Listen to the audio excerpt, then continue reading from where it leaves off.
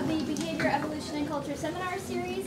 Uh, if you haven't been here before, um, then you should take a look at our website at bec.ucla.edu. We have the full list of uh, speakers for the rest of this quarter, and we'll shortly have the list up for spring. Um, so we have some great people coming in the future. On Monday, which is our regular time for back uh, in this room at 12 o'clock, Sarah Mesnick is coming, and the title of her talk is Sperm Whale Social Structure, Kith and Kin, Implications for Behavior, Culture, and Conservation.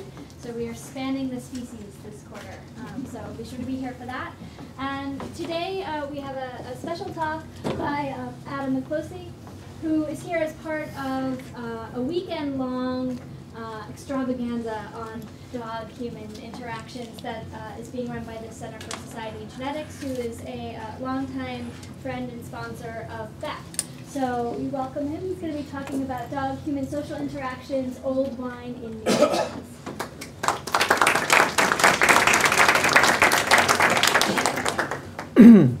uh, is the sound okay? Yeah? Okay, good. So thank you very much for this uh, invitation, first of all. I really enjoyed coming here and was looking forward to uh, give this presentation. Unfortunately, I won't, won't talk about wine. It's just a part of the title, which means coming from Hungary, actually, uh, it's also important we are lots of business with wine. We, we think we can make good wine, so therefore the problem is how to sell them in old bottles, new wine or old wine in new bottles. That's always a problem and issue. So maybe that's the title. But actually, uh, the reason why I gave this title is partly because I think that Maybe some people after the lecture would think that I have never, ne haven't seen, sent something new. So we will see uh, whether we're just talking about old issues in a different form. Um, you should also know, of course, that uh, all the research that I'm presenting here is an outcome of uh, many uh, researchers and students' work. So this is a group of people, the picture taken in front of the department many years ago. So you see also some, some participants that are actually four-legged. They also help us in that sort of work.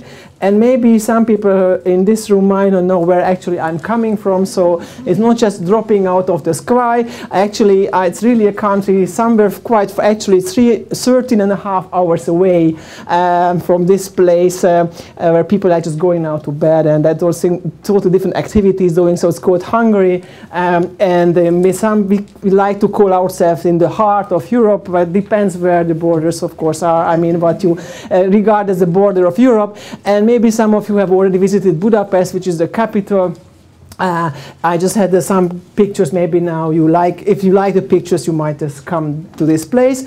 Actually, if you take the boat trip on the Danube, uh, which is uh, crossing the city and go to the south, so you just follow this this edge here, then you arrive to a relatively nice red building where on the sixth floor you find the ethology department. And I know ethology is not a sort of a very familiar word uh, in or uh, in this place, but you might call this subject as animal behavior behavior or bio behavior biology, but for traditional reasons we keep this name of ethology, which is a, a European version of animal behavior anyway. So I think after this short introduction, um, Oops, I forgot to set the time. Anyway, uh, what I would like to do here is two things because I also was told that there are maybe some anthropologists in the room and people who are at least or psychologists that I'm more interested on the human aspect. I would like to introduce a little bit this idea of how um, understanding of dog behavior, doing research in dogs might help us also or at least get some ideas on human evolution. And this will be a short part. Um, I don't want to dig on that very deeply. And the second part of the talk would be actually to looking at some skills that you often think as being a human type of, or especially human behavior, and see what can be observed in the case of the dog. So whether we could make here a parallel between human behavior and dog behavior. Okay, so the first part is about um, this parallel in general between dogs and humans. And of course, in, uh, in many books, you find these notions that uh, uh, maybe dogs have made us humans or humans have made dogs, uh, I mean wolves as dogs and that sort of interaction. However, we would like to present a more wider um, approach to that. And for this, I really have to refer back to my former professor's work, uh, Vilmos Csányi, who published, unfortunately, most of his work on human ethology or behavior is in Hungarian, but his work on dogs is more in English. But you might find some papers, and those people who are interested in write to me. I can send you those papers because they um, uh, published in um, not very major journals. Anyway, so the idea is here that in human evolution or behavior evolution, you have a big problem usually explaining the change over time, and you find two types of hypotheses in the literature. One type of hypothesis is a sort of a sequential evolution, okay? So you assume that some abilities evolved, this gave rise to another ability, and this gave rise to another ability, and so on. So you have this sequential view of a story changing uh, human behavior and at the end we arrive at the modern human.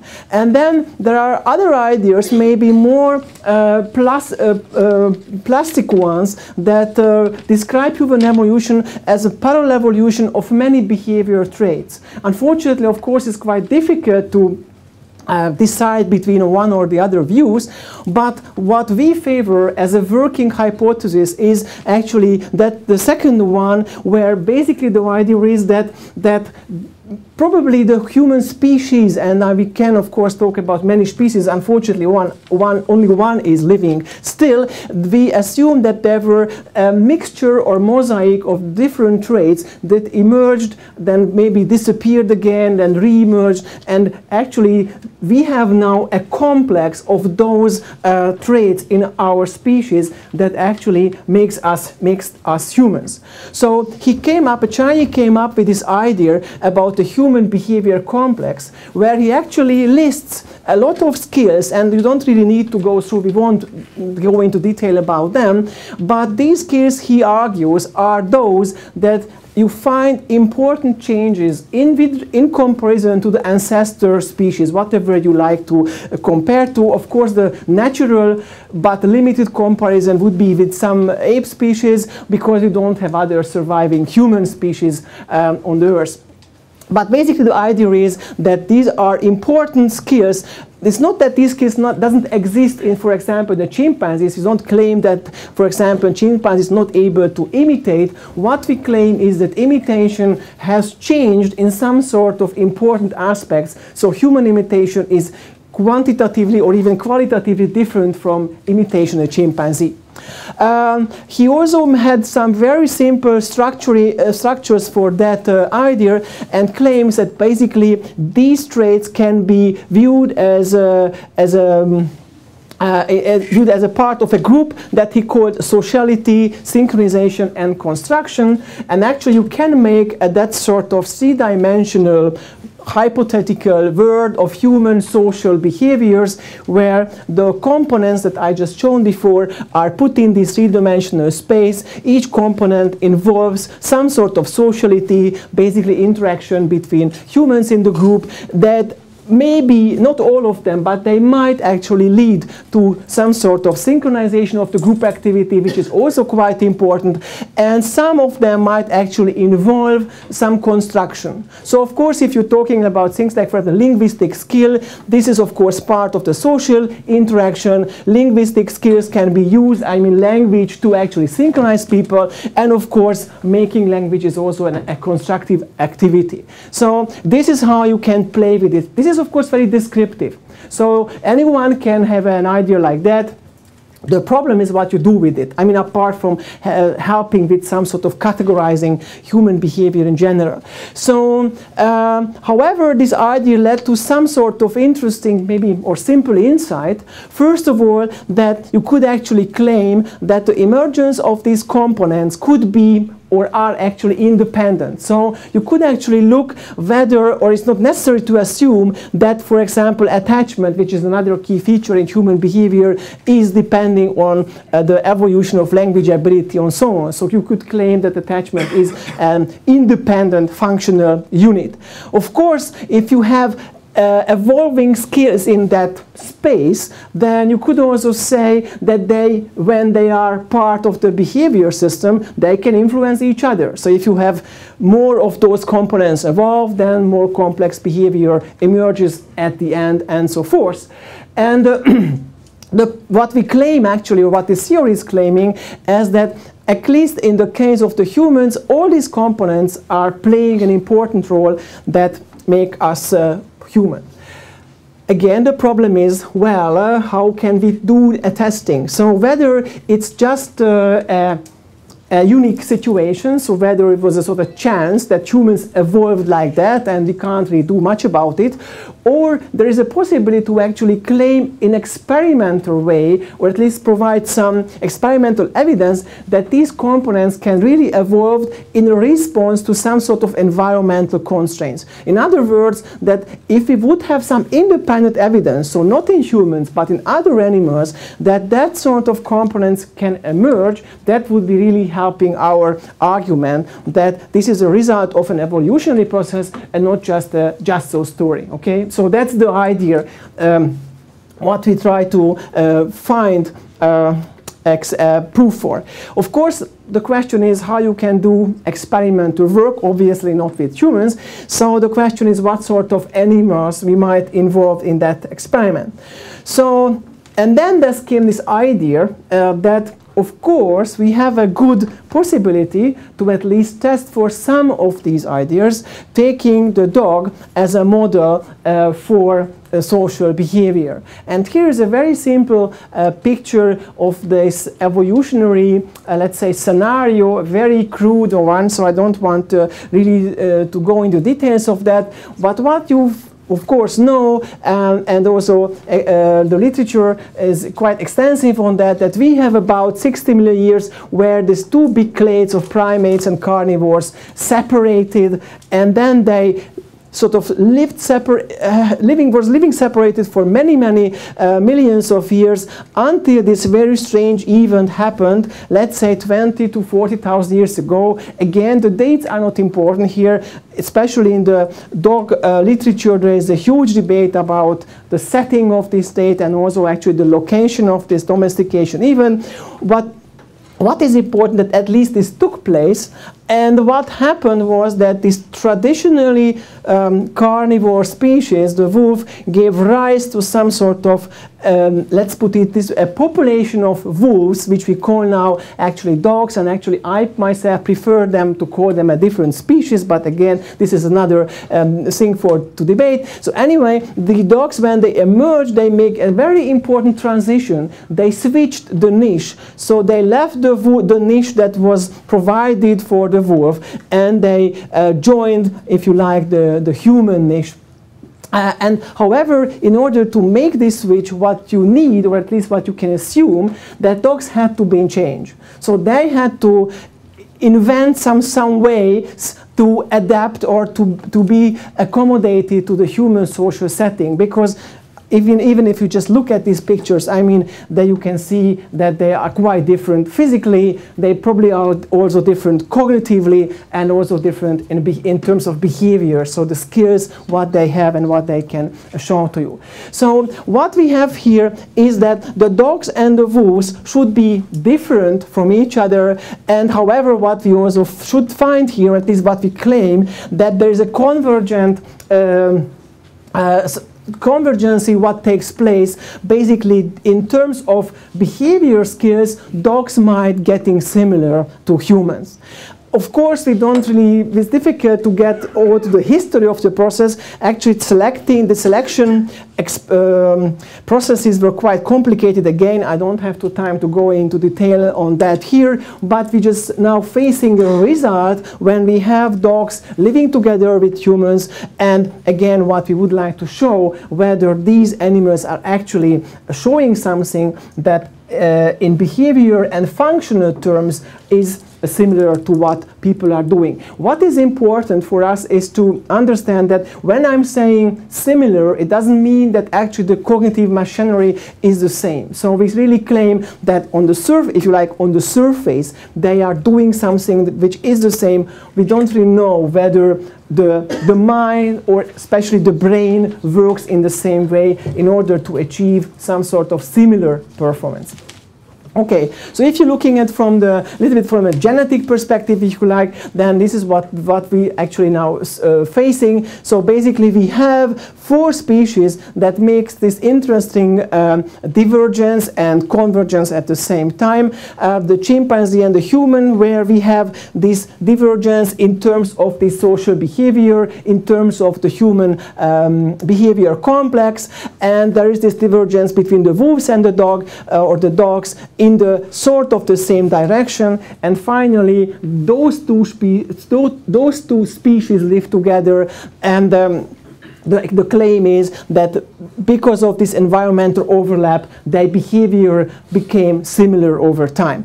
You should also know two things. One is that this genetic divergence that actually supports that is much uh, smaller in the case of the, the canines and some compared to the primates. And of course, the time when this uh, convergence sort of started uh, was also different. So what we expect is, of course, greater change between man and chimpanzee in compared to wolves and dogs. Okay, so what we want to do in the rest of the time, and I will see how we get through this, actually to give you one example. And there are many examples in literature um, published by our group, so I try to look for something that is quite relatively new and maybe also interesting for, for some people because it actually uh, draws heavily on a, a, specific human concept which people call pedagogy. And uh, recently, a group of actually Hungarian psychologists, uh, Gergely and Csibra and, and, a few others, came up with this idea that actually what they describe as human pedagogy might be a very specific human trait. And they also argue that this behavior skill that emerges both in the teacher and of course also in the pupil, usually an infant or a young child, is actually driven by selective forces. So in other words, they are sort of genetically prepared to teach and also prepared to receive this information from from an adult or, a, or another uh, group member. So basically the claim is that is a cognitive adaptation of mutual design which actually uh, ensures fast and efficient learning. And why this might be interesting is because if you consider now that a child or an infant grows up in a close contact with the caregivers, mothers, fathers, and uh, sisters, brothers, and so forth, lots of the information that an infant is actually learning has no sort of real meaning whatsoever. So if you show the infant, you know, an object and then you say this is an apple, I mean you provide a vocal label, that makes no sense for a child. Nevertheless, they learn it very rapidly. And you can give many, many, many things, uh, uh, similar uh, things. So the idea is that in order to learn rapidly, you don't really need uh, the understanding, so the cognition there, because there's no way that an infant could understand what's going on. However, what you need is a learning mechanisms that actually makes you able to learn in that, that situation. So, and the wide, and okay, sorry. So how this whole system looks like uh, from the human perspective, and now I'm talking only about, uh, so far about the human, and this is what the Gergely model is claiming, that basically you just um, look at a complex process where you have a human informant, for example, a mother, and the recipient, for example, the infant, and the first um, part of this process is something what they call providing cues of ostension. So the idea is that, of course, if you are teaching, you have to uh, sort of uh, notify the, the other that teaching is coming about. So now that you are in a teaching situation.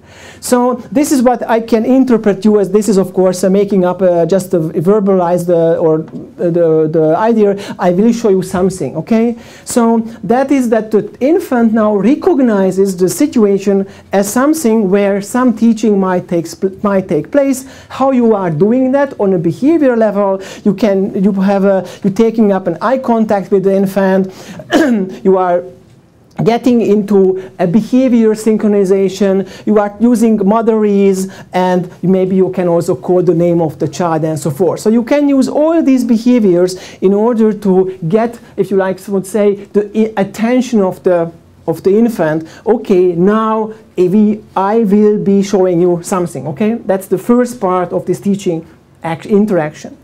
So the second part is now uh, to the teacher should sort of sort of signal, okay, what the teaching will be about. Okay, so using some sort of referential signals uh, that might be different. For example, gaze shifting, pointing, and actually for lots of reasons we are don't relying here on ling language, on ling linguistic abilities. So lots of actually visual or non-linguistic vocal signals could be used in teaching. So we don't really need the language for teaching necessarily. We, we will see that it's about actually very young infants. They are few months old. Anyway, so so the idea would be using referential signals that will somehow focus now the infant uh, on the object of the teaching. So basically by that now the infant is in a position to understand, okay, what the referent will be. So what is the thing the teaching is now focused on.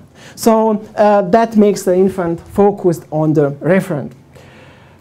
And the third, of course, is the, the important part. I mean, all three, are, two are, all three are important. So the third part is the now you have to do or show what the teaching is about. So you show something that first, for example, you can open this, this and this way. So you, you show an action.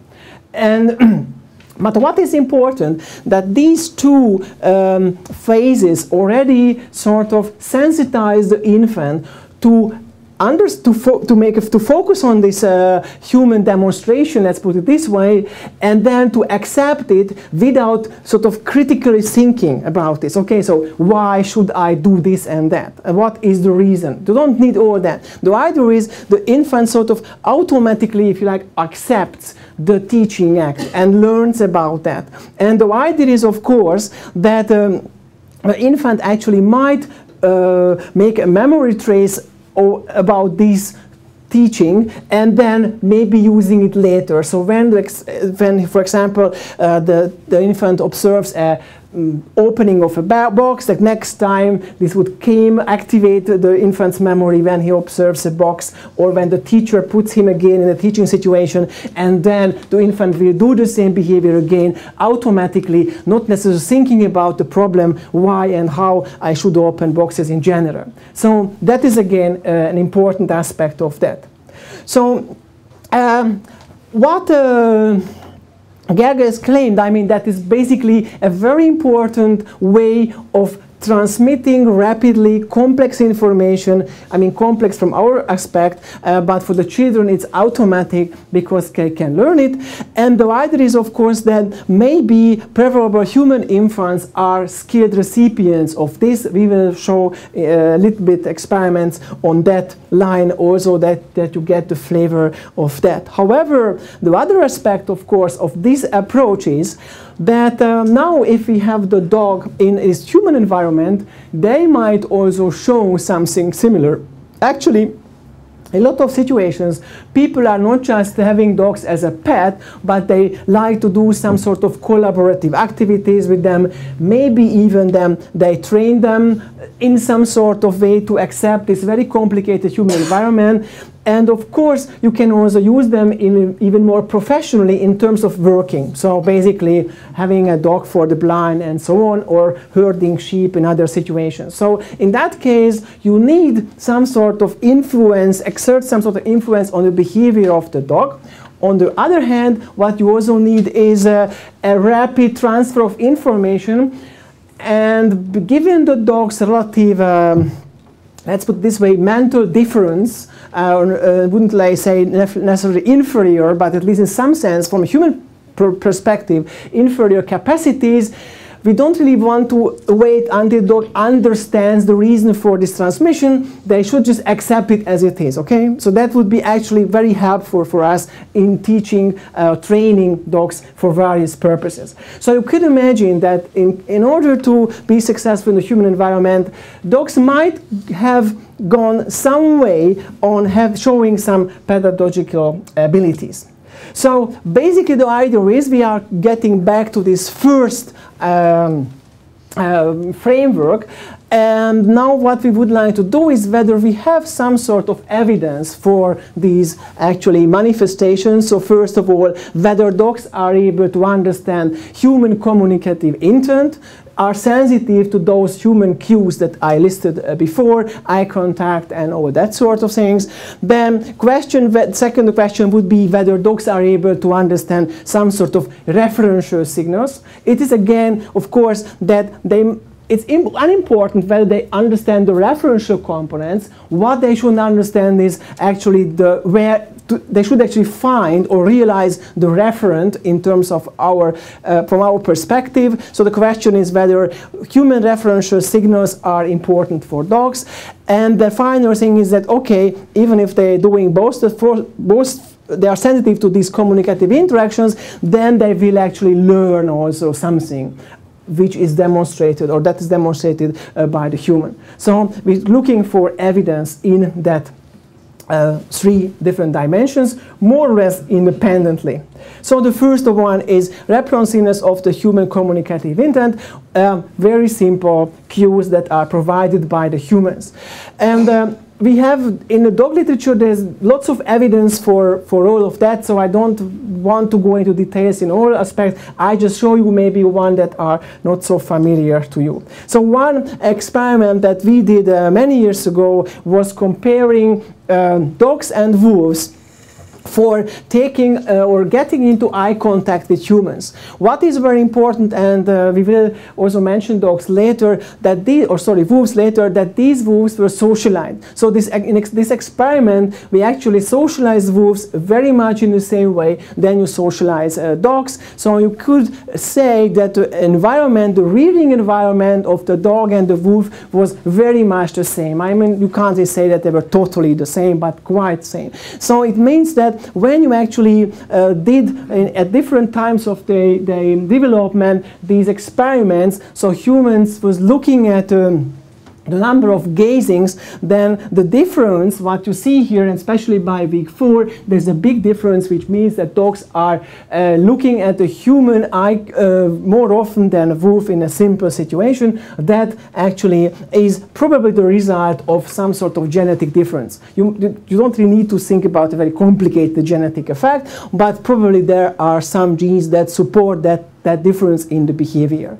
Um, you can also uh, see that if the now the animal is uh, trained, or at least it is put in a training context, to learn that gazing to the human eye actually brings about some reward. So basically, um, we waited until we soon see a video about that. So we were looking at the, the puppy together. I mean, we were sitting with the puppy, and then whenever the puppy looks in the human eye, he gets some reward. And that we did with uh, wolves and dogs. And uh, actually, what you can see that wolves don't, didn't seem to learn. It's again not the problem that I mean, wolves not learning, probably they have an inferior learning ability. It's probably also that actually looking at the human eye for a wolf is not a very um, uh, nice thing to have. So th these curves are actually also quite different significantly, but instead of saying, looking, here's a little wolf, and, and I couldn't find the same experiment with a dog, but probably maybe it's more fun to look at a wolf puppy anyway. So Marta, she, the first author of the paper, is doing now this training, which is is actually very relaxing and very simple. So each time the puppy will see few occasions, not many, uh, when he's looking at the eye, then he get here some food in the hand, and you can see that the puppy is always interested in the food and not actually at the human. So that will be should be one action when he gets. Now now she got he was a that was an eye contact, and then he got the, she got the food.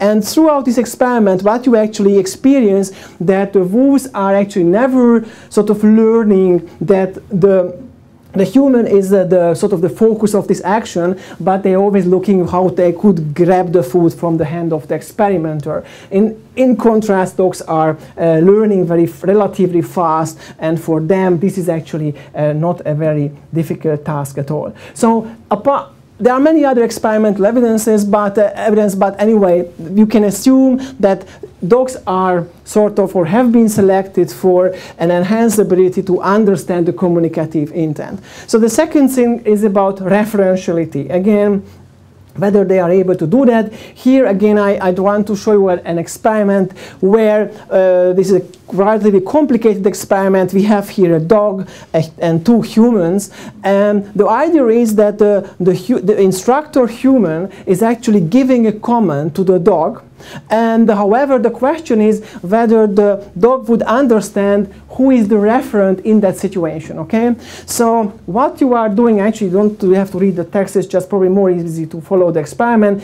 And so this is the starting situation. Now the instructor and the contributor are facing each other. And then the human is turning to the dog and it gives the down command. And as usual, I mean, uh, dogs were quite good. I mean, we for this experiment, we selected dogs that are reliably uh, trained for that situation for the reason you will see in a minute. So basically what we have is that all the 22 dogs were uh, uh, lying down on that command. Now we had another situation where the instructor was actually looking somewhere then he turned his head, so basically he was instructing the other humans for looking down.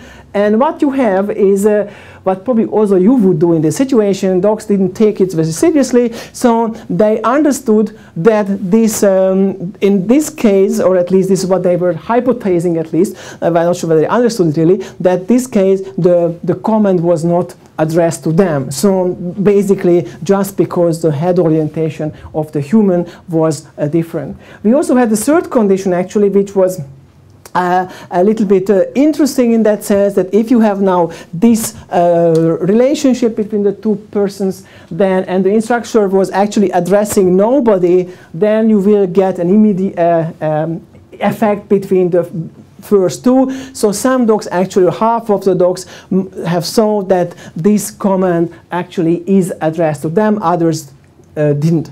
So that again shows, apart from how you might interpret what happens in this situation, but again you might assume that uh, children or even adults would behave in a similar way in this case, but there's no, unfortunately, there's no comparative uh, evidence for this.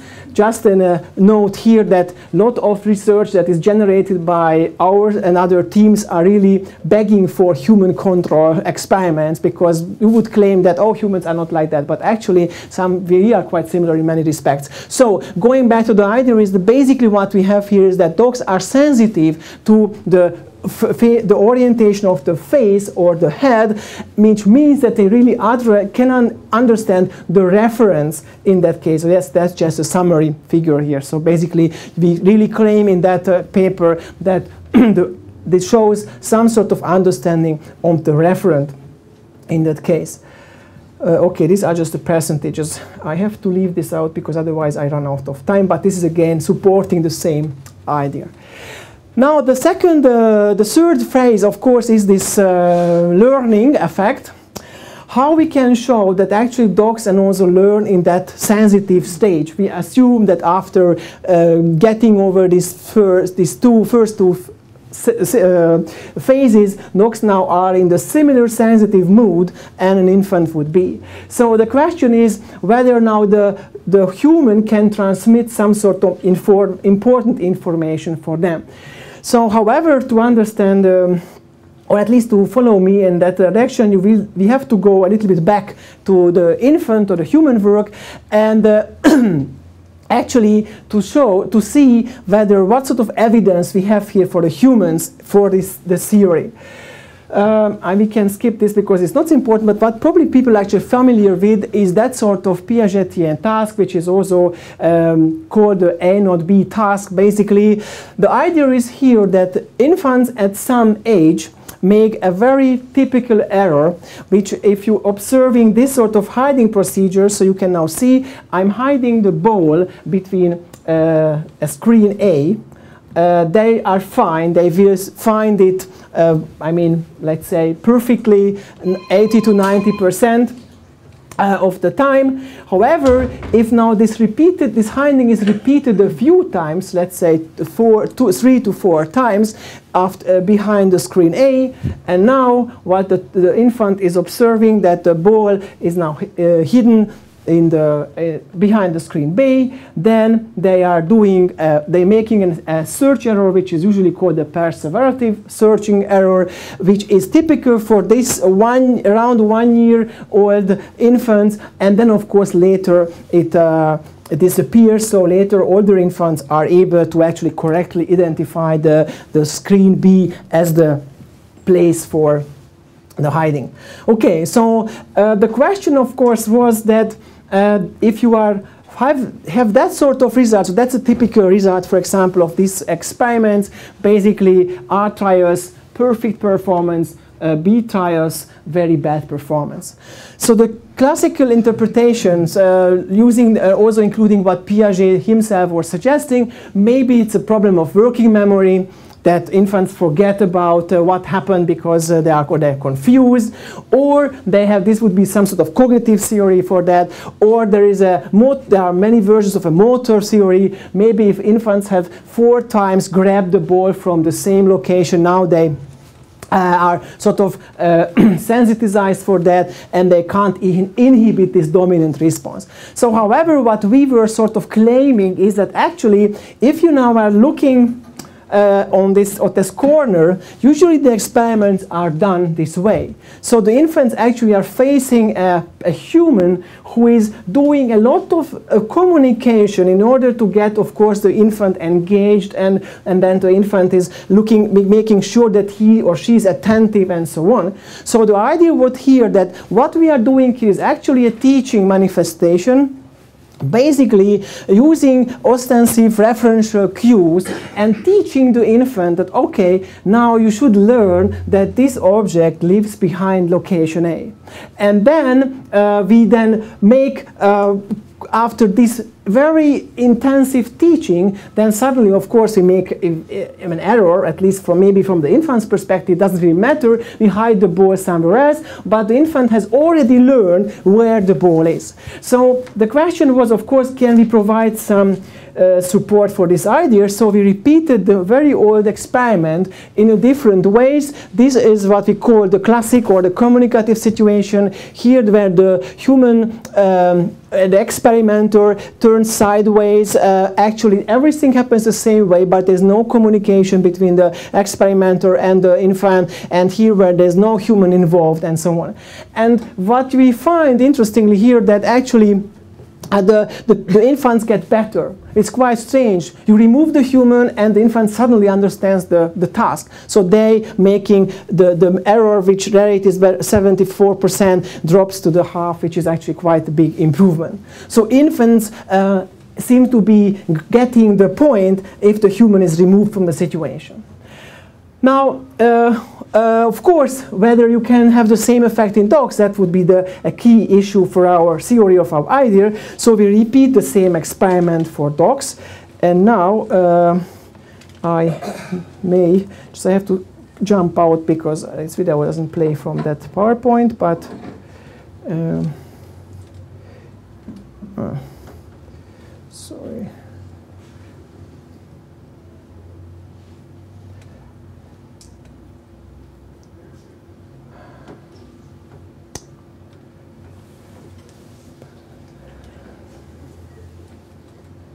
So, so here's a non-communicative version of that task. I'm sure I hope you can see it. So experiment is the same arrangement. You have two screens, A, A or B screens, and now the experimenter is hiding the ball without having any communicative interaction with the dog.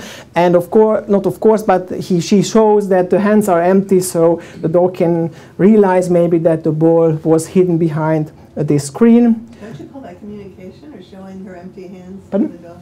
Isn't that communication when she shows her empty Well, I mean, to it, the dog? we don't. I mean, it's probably not communication, but I mean that's another issue. We can talk about it later, whether we can, how you can uh, assume that. But I mean, I'll show you then uh, maybe the similar version with the ostensive and communicative uh, interaction that would be at least for. Uh, you can say that this is a more communicative interaction between the person and the dog. So it's always uh, eye contact, showing the ball, uh, of course the hands and, and, and so on. And now, uh, if yes, we maybe we can show, yes, oh sorry, yes, I didn't wait. I knew what will happen. So, okay, sorry. So the the uh, the B trial. So after three or four occasions like that, now this is a B trial uh, with this dog. So he also experienced already that, that the ball has been, was hidden before.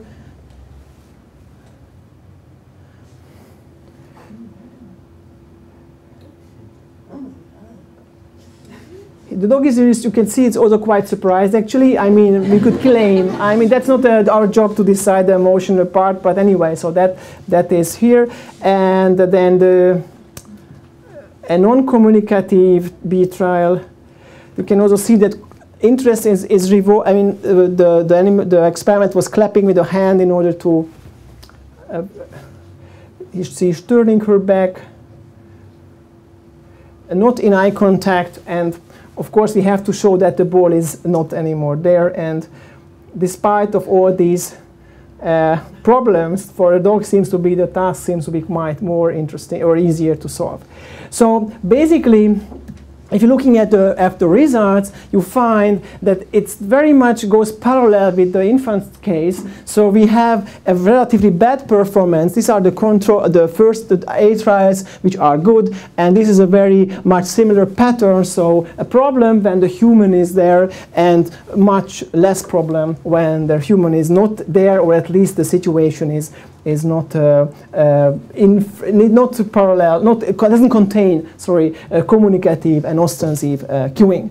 So basically, the argument in this case is that we seem to provide uh, some sort of evidence that dogs are able to demonstrate a functional parallel to the human pedagogical system, and they, there are some similarities to, to nonverbal infants. Finally, to show that this is really a part of this evolutionary trend that dogs make do, that makes dogs adaptive to the human social situation, we also run an experiment where we compare the performance of our socialized wolves with that of the socialized dogs.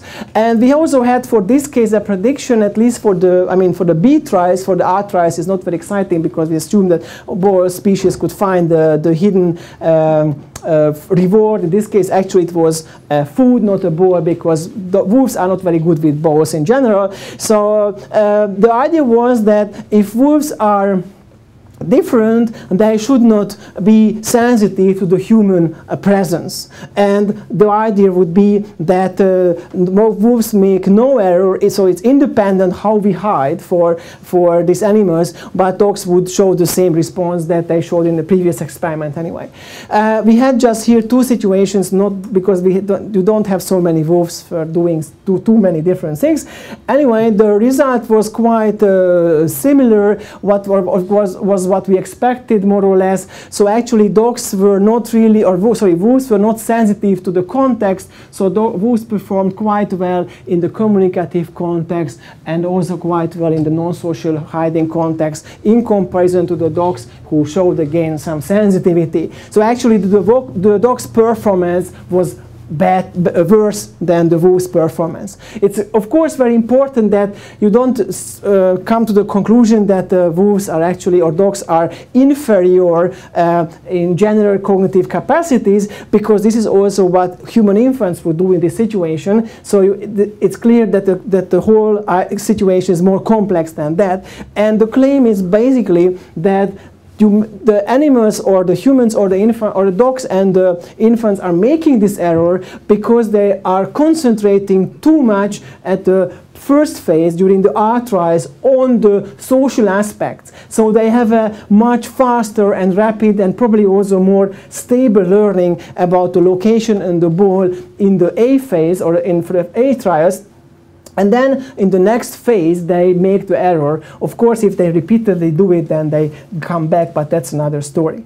So the idea, what I all right, what I try to convince you uh, in this uh, talk basically is that first of all, dogs have evolved uh, some sort of uh, skills that uh, make them better for living in a human social setting, and we strongly believe that these is an evolutionary effect, meaning there are some genetic differences in this regard between dogs and wolves. Some people debate that, or at least claiming that not so serious. Of course, it's always a problem of nature and nurture, so you can have long debates on that. It's very difficult to discount all the possible problems, but at least we believe that, uh, from our perspective, that probably there is some evidence now that the two species are are quite different. And with regard to this pedagogical hypothesis, it's I think also quite clear that. Um, dogs are able to recognize that referential ostensive part and this uh, uh, and this and this makes them sensitive to subsequent human communication or demonstration of other actions their ability is uh, similar functionally at least to the, the ability to, to the skills or the behaviors that human preverbal infant shows. Actually that also shows nicely that for the pedagogy hypothesis you don't really need linguistic skills. So for the Gergely model this is important because they can now claim at least they have a stronger claim to say that maybe humans evolve pedagogical skills before the emergence of language and actually it's not the other way around. Usually you find lots of uh, experiments in terms of language learning based on that sort of interaction between the caretaker and the infant. We can now claim that actually language probably capitalized on this already existing ability. And the reason why we say that because there is another organism, the dog, that actually shows very much similar skills. Of course, in our subsequent experiments that I won't show you um, now, but hopefully you can read it shortly in the literature, there are also some findings that show that dogs are not in all respect uh, the same as infants. So for example, the effect on the human infant is much stronger, so they generalize this new knowledge to other contexts easily and dogs are probably more uh, restricted in this skills so they learn only about that particular context and they are not able to generalize this knowledge to other contexts which might uh, show actually that the underlying cognitive uh, structure is, is quite different. Um, yeah, and that's, that's I think the, and I hope I have still two more minutes, but anyway, that's my dog for you.